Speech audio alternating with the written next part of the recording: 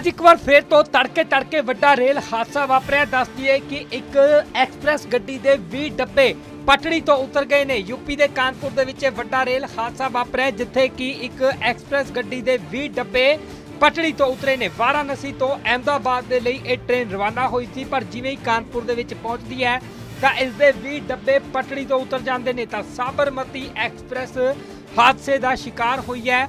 ਦੱਸਦੀ ਹੈ ਕਿ ਯਾਤਰੀਆਂ ਦੇ ਵਿੱਚ ਚੀਕ ਚਿਹਾੜਾ ਪੈ ਗਿਆ। ਰਾਤ ਨੂੰ 2:30 ਵਜੇ ਦੇ ਕਰੀਬ ਇਹ ਹਾਦਸਾ ਵਾਪਰਿਆ, ਦੱਸਿਆ ਜਾ ਰਿਹਾ ਤਾਂ ਦੇਰ ਰਾਤ 2:30 ਵਜੇ ਵੱਡਾ ਹਾਦਸਾ ਵਾਪਰਿਆ। ਇੱਕ ਟ੍ਰੇਨ ਦੇ 20 ਡੱਬੇ ਪਟੜੀ ਤੋਂ ਉਤਰ ਗਏ ਨੇ। ਤਾਂ ਦੂਜੀ ਟ੍ਰੇਨ ਦੇ ਰਾਹੀਂ ਯਾਤਰੀਆਂ ਨੂੰ ਹੁਣ ਅੱਗੇ ਰਵਾਨਾ ਕੀਤਾ ਜਾ ਰਿਹਾ ਤੇ ਜ਼ਖਮੀਆਂ ਨੂੰ ਇਲਾਜ ਦੇ ਲਈ ਹਸਪਤਾਲ ਦੇ ਵਿੱਚ ਦਾਖਲ ਕਰਵਾਇਆ ਗਿਆ ਤਾਂ ਕਾਨਪੁਰ ਤੋਂ ਜਾਣ ਵਾਲੀਆਂ ਕਈ ਟ੍ਰੇਨਾਂ ਹੁਣ ਰੱਦ ਕਰ ਦਿੱਤੀਆਂ ਗਈਆਂ ਨੇ। 20 ਡੱਬੇ ਪਟੜੀ ਤੋਂ ਉਤਰੇ ਨੇ। ਸਾਬਰਮਤੀ ਐਕਸਪ੍ਰੈਸ ਦੱਸੀ ਜਾ ਰਹੀ ਹੈ, ਜਿਸ ਦੇ ਕਿ ਰਾਤ 2:30 ਵਜੇ 20 ਡੱਬੇ ਪਟੜੀ ਤੋਂ ਉਤਰ ਜਾਂਦੇ ਨੇ। ਤਾਂ ਤਸਵੀਰਾਂ ਵੀ ਇਸ ਦੌਰਾਨ ਇਹ ਸਾਹਮਣੇ ਆਈਆਂ ਨੇ, ਜਿਸ 'ਚ ਸਾਫ਼ ਦੇਖਿਆ ਜਾ ਸਕਦਾ ਹੈ ਕਿ ਜੋ ਪਟੜੀ ਹੈ, ਉਹ ਜੜ ਤੋਂ ਹੀ ਉਖੜ ਜਾਂਦੀ ਹੈ ਤੇ ਇਸ ਦੇ ਨਾਲ ਹੀ ਟ੍ਰੇਨ ਜੋ ਹੈ, ਉਹ ਡੀਰੇਲ ਹੋ ਜਾਂਦੀ ਹੈ। ਕਿਹਾ ਜਾ ਰਿਹਾ ਕਿ ਹਾਦਸੇ ਦੇ ਸਮੇਂ ਟ੍ਰੇਨ ਦੀ ਸਪੀਡ ਬੇहद ਘੱਟ ਸੀ।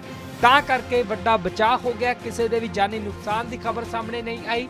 ਪਰ ਜੇ ਕਿਹਾ ਜਾ ਰਿਹਾ ਕਿ ਸਪੀਡ ਤੇਜ਼ ਹੁੰਦੀ, ਉੱਤੋਂ ਦੀ ਡਿਰੇਲ ਹੋ ਜਾਂਦੀ, ਤਾਂ ਵੱਡਾ ਹਾਦਸਾ ਜੋ ਹੈ, ਇਹ ਵਾਪਰ ਸਕਦਾ ਸੀ। ਤਾਂ 20 ਡੱਬੇ ਪਟੜੀ ਤੋਂ ਉਤਰੇ ਨੇ। ਸਾਬਰਮਤੀ ਐਕਸਪ੍ਰੈਸ ਜੋ ਹੈ, ਉਹ ਹਾਦਸੇ ਦਾ ਸ਼ਿਕਾਰ ਹੋਈ ਹੈ। ਅੱਜ ਦਿਨ ਲਗਾਤਾਰ ਵੱਡੇ ਵੱਡੇ ਰੇਲ ਹਾਦਸੇ ਵਾਪਰ ਰਹੇ ਨੇ, ਪਰ ਰੇਲਵੇ ਵਿਭਾਗ ਦੇ ਵੱਲੋਂ ਕੋਈ ਵੀ ਢੁਕਮਾ ਕਦਮ ਨਹੀਂ ਚੁੱਕਿਆ ਜਾ ਰਿਹਾ। ਜਿਸ ਦੇ ਕਾਰਨ ਇਹ ਵੱਡੇ ਰੇਲ ਹਾਦਸੇ ਵਾਪਰ ਰਹੇ ਨੇ। ਦੂਜੇ ਪਾਸੇ ਤੁਹਾਨੂੰ ਦੱਸ ਦਈਏ ਕਿ ਹਾਲ ਹੀ ਦੇ ਦਿਨਾਂ ਦੇ ਵਿੱਚ ਇੱਕ ਹੋਰ ਟ੍ਰੇਨ ਦੇ ਦੋ ਡੱਬੇ ਪਟਰੀ ਤੋਂ ਉਤਰੇ ਸੀ। ਇਸ ਤੋਂ ਇਲਾਵਾ ਇੱਕ ਡਬਲ ਡੈਕ ਟ੍ਰੇਨ ਜੋ ਹੈ, ਉਹ ਚਲਦੀ ਚਲਦੀ ਦੋ ਹਿੱਸਿਆਂ ਦੇ ਵਿੱਚ ਵੰਡੀ ਗਈ ਸੀ, ਜਿਸ ਦੇ ਕਾਰਨ ਯਾਤਰੀਆਂ ਦੇ ਵਿੱਚ ਚੀਕ ਚਿਹਾੜਾ ਪੈ ਗਿਆ ਸੀ। ਪਰ ਉਹ ਹਾਦਸਾ ਹਲੇ ਠੰਡਾ ਵੀ ਨਹੀਂ ਸੀ ਹੋਇਆ। ਅੱਜ ਇੱਕ ਵਾਰ ਫੇਰ ਤੋਂ ਨਵਾਂ ਹਾਦਸਾ ਵਾਪਰ ਗਿਆ। ਲਗਾਤਾਰ ਸਵਾਲਾਂ ਦੇ ਘੇਰੇ ਦੇ ਵਿੱਚ ਰੇਲਵੇ ਵਿਭਾਗ ਆਉਂਦਾ ਨਜ਼ਰ ਆ ਰਿਹਾ ਹੈ। ਆਏ ਦਿਨ ਵੱਡੇ ਵੱਡੇ ਰੇਲ ਹਾਦਸੇ ਵਾਪਰ ਰਹੇ ਨੇ ਤੇ ਹੁਣ ਇੱਕ ਵਾਰ ਫੇਰ ਤੋਂ ਯੂਪੀ ਦੇ ਕਾਨਪੁਰ ਦੇ ਵਿੱਚ ਪਟੜੀ ਤੋਂ ਟ੍ਰੇਨ ਉਤਰ ਜਾਂਦੀ ਹੈ। ਵਾਰਾਣਸੀ ਤੋਂ ਅਹਿਮਦਾਬਾਦ ਦੇ ਲਈ ਇਹ ਟ੍ਰੇਨ ਰਵਾਨਾ ਹੋਈ ਸੀ। ਸਾਬਰਮਤੀ ਐਕਸਪ੍ਰੈਸ ਦੇ 20 ਡੱਬੇ ਪਟੜੀ ਤੋਂ ਉਤਰੇ ਨੇ। ਅੱਜ ਇੱਕ ਵਾਰ ਫੇਰ ਤੋਂ ਤੜਕੇ ਤੜਕੇ ਵੱਡਾ ਰੇਲ ਹਾਦਸਾ ਵਾਪਰਿਆ। ਦੱਸਦੀ ਹੈ ਕਿ ਇੱਕ ਐਕਸਪ੍ਰੈਸ ਗੱਡੀ ਦੇ 20 ਡੱਬੇ ਪਟੜੀ ਤੋਂ ਉਤਰ ਗਏ ਨੇ। ਯੂਪੀ ਦੇ ਕਾਨਪੁਰ ਦੇ ਵਿੱਚ ਇਹ ਵੱਡਾ ਰੇਲ ਹਾਦਸਾ ਵਾਪਰਿਆ, ਜਿੱਥੇ ਕਿ ਇੱਕ ਐਕਸਪ੍ਰੈਸ ਗੱਡੀ ਦੇ 20 ਡੱਬੇ ਪਟੜੀ ਤੋਂ ਉਤਰੇ ਨੇ। ਵਾਰਾਣਸੀ ਤੋਂ ਅਹਿਮਦਾਬਾਦ ਦੇ ਲਈ ਇਹ ਟ੍ਰੇਨ ਰਵਾਨਾ ਹੋਈ ਸੀ, ਪਰ ਜਿਵੇਂ ਹੀ ਕਾਨਪੁਰ ਦੇ ਵਿੱਚ ਪਹੁੰਚਦੀ ਹੈ ਤਾਂ ਇਸ ਦੇ 20 ਡੱਬੇ ਪਟੜੀ ਤੋਂ ਉਤਰ ਜਾਂਦੇ ਨੇ। ਤਾਂ ਸਾਬਰਮਤੀ ਐਕਸਪ੍ਰੈਸ ਹਾਦਸੇ ਦਾ ਸ਼ਿਕਾਰ ਹੋਈ ਹੈ।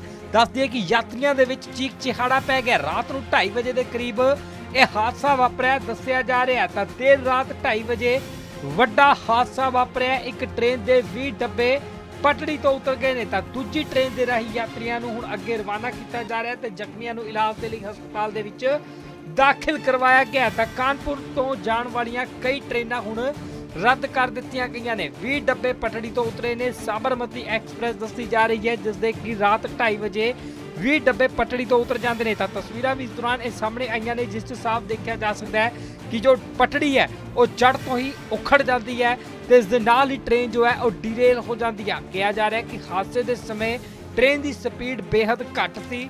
ਤਾਂ ਕਰਕੇ ਵੱਡਾ ਬਚਾਅ ਹੋ ਗਿਆ। ਕਿਸੇ ਦੇ ਵੀ ਜਾਨੀ ਨੁਕਸਾਨ ਦੀ ਖਬਰ ਸਾਹਮਣੇ ਨਹੀਂ ਆਈ।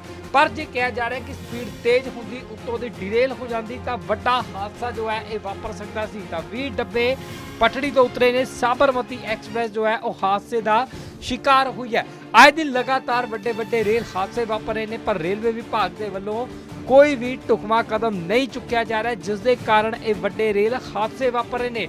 ਦੂਜੇ ਪਾਸੇ ਤੁਹਾਨੂੰ ਦੱਸ ਦਈਏ ਕਿ ਹਾਲ ਹੀ ਦੇ ਦਿਨਾਂ ਦੇ ਵਿੱਚ ਇੱਕ ਹੋਰ ਟ੍ਰੇਨ ਦੇ ਦੋ ਡੱਬੇ ਪਟਰੀ ਤੋਂ ਉਤਰੇ ਸੀ। ਇਸ ਤੋਂ ਇਲਾਵਾ ਇੱਕ ਡਬਲ ਡੈਕ ਟ੍ਰੇਨ ਜੋ ਹੈ, ਉਹ ਚਲਦੀ ਚਲਦੀ ਦੋ ਹਿੱਸਿਆਂ ਦੇ ਵਿੱਚ ਵੰਡੀ ਗਈ ਸੀ, ਜਿਸ ਦੇ ਕਾਰਨ ਯਾਤਰੀਆਂ ਦੇ ਵਿੱਚ ਚੀਕ ਚਿਹਾੜਾ ਪੈ ਗਿਆ ਸੀ।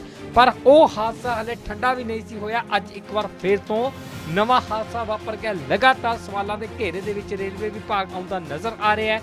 ਆਏ ਦਿਨ ਵੱਡੇ ਵੱਡੇ ਰੇਲ ਹਾਦਸੇ ਵਾਪਰ ਰਹੇ ਨੇ ਤੇ ਹੁਣ ਇੱਕ ਵਾਰ ਫੇਰ ਤੋਂ ਯੂਪੀ ਦੇ ਕਾਨਪੁਰ ਦੇ ਵਿੱਚ ਪਟੜੀ ਤੋਂ ਟ੍ਰੇਨ ਉਤਰ ਜਾਂਦੀ ਹੈ। ਵਾਰਾਣਸੀ ਤੋਂ ਅਹਿਮਦਾਬਾਦ ਦੇ ਲਈ ਇਹ ਟ੍ਰੇਨ ਰਵਾਨਾ ਹੋਈ ਸੀ। ਸਾਬਰਮਤੀ ਐਕਸਪ੍ਰੈਸ ਦੇ 20 ਡੱਬੇ ਪਟੜੀ ਤੋਂ ਉਤਰੇ ਨੇ।